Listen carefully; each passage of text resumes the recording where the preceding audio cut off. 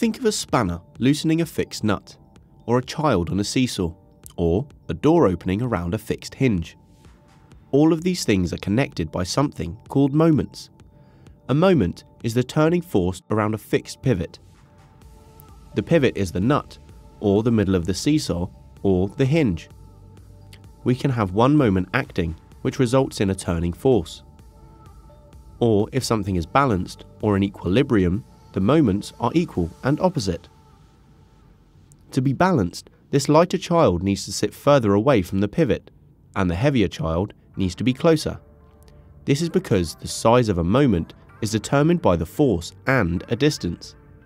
So the moments of the lighter person is 500 newtons multiplied by 2 meters, 1000 newton meters.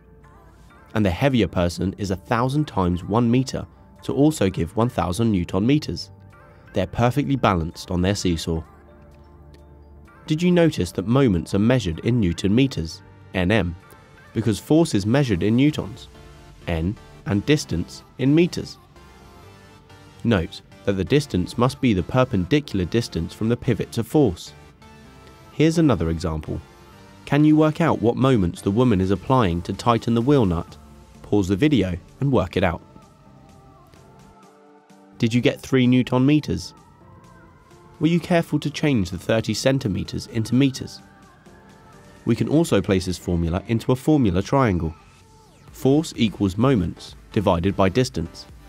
Distance equals moments divided by force, and moments, as we already know, is force times distance.